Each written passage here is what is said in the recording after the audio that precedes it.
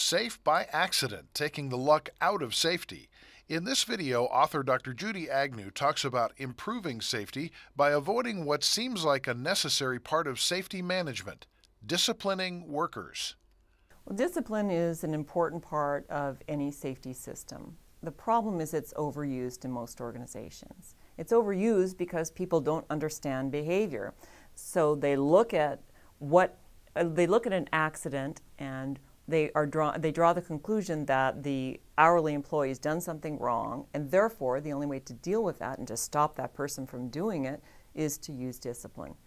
Many companies also believe if they use discipline for that individual that they're sending a good message to everybody else that this is not acceptable and therefore everybody will conform. Discipline is problematic because it rarely works the way most organizations think that it will work.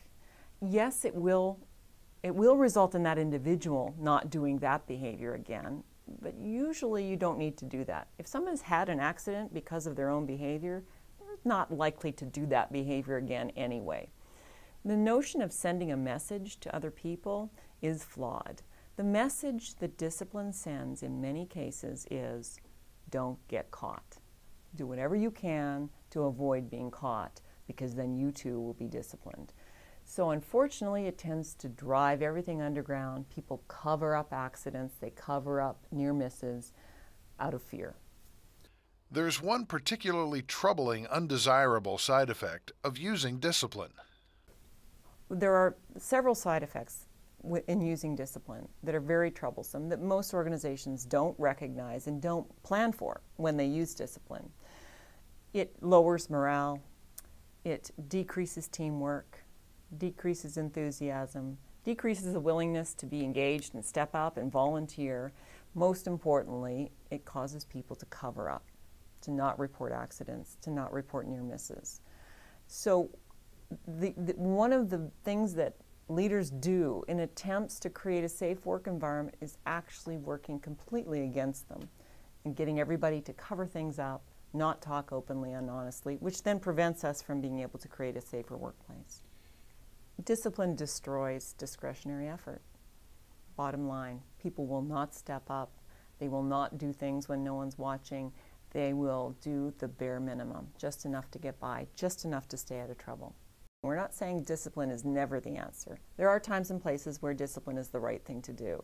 It's really making a discrimination between a willful violation of a rule and someone doing something that others would do in the, the, same circumstances. In other words, someone doing something, trying to do a good job, doing what they, doing the best job they can in the, in the circumstances they're in.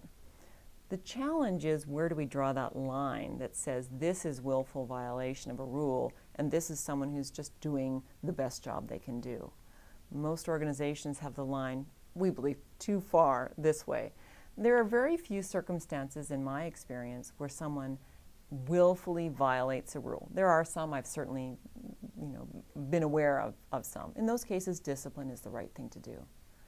But don't jump to that conclusion. Make sure you understand first why the person's done what they've done. And very often, if you do that using the science of behavior, you're going to discover that it's not willful violation. It's somebody doing the best job they can do. Safe by Accident, taking the luck out of safety. For more from Dr. Judy Agnew and Aubrey Daniels, and to purchase the book Safe by Accident, visit the website safebyaccident.com.